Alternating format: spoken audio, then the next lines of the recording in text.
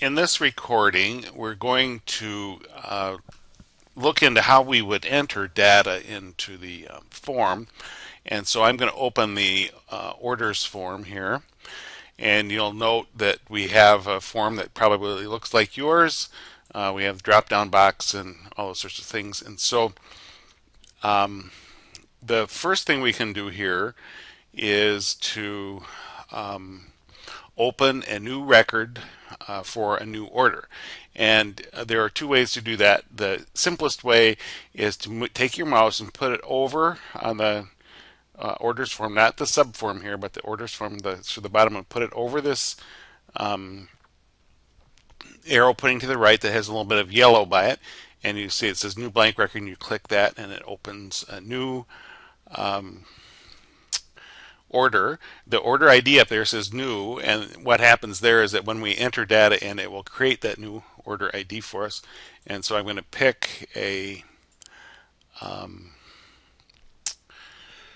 customer there, and I'm going to put in an order date, and uh, put NA for notes on this one. I need some uh, titles, uh, so we open the title, and I'll pick two of them, PS 2091 and 1372. So uh, PS, oops, 2091 and PS 1372.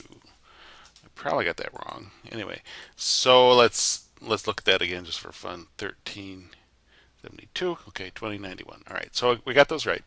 And I need quantities here, so I put 2 and 3, and that's it. All I have to do is move to a new line in the subform and it automatically saves it. Now then, uh, if you want to get a little fancier, so that's how you order, that's how you enter the orders.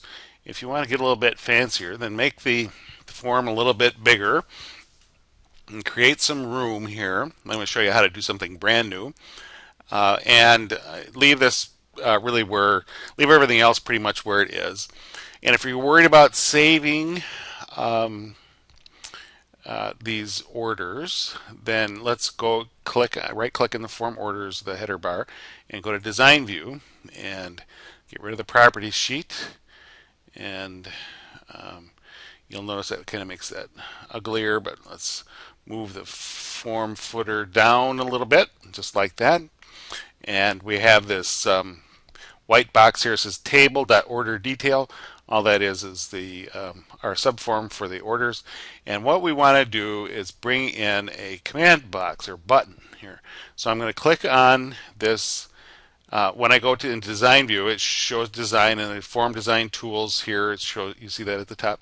I'm going to click on button, and then I'm going to draw a button in here and it asks me what is it brings up the command button wizard it asks me what I want to do and I'm going to click on record operations and then I click on save record and I'm going to click next and I'm going to click on the text for save record you can also use a picture if you want to.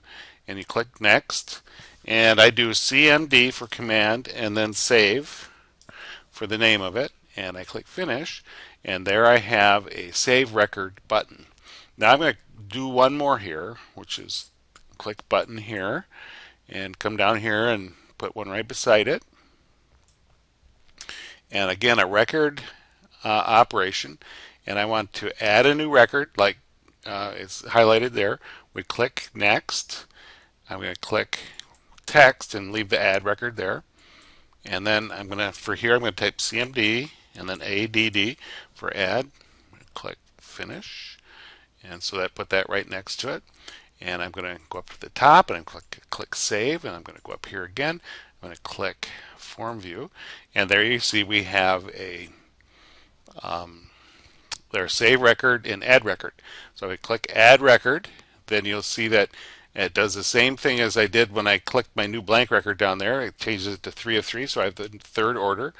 Um, click a down button, document, order date, 313 2013, um, title ID, PS 7777, and I want three of those. And uh, PS 3333, and I want three, oops, three of those. And then I can click Save Record, and it's saved. And there you are. That's how you add records. And that's the end of this little talk.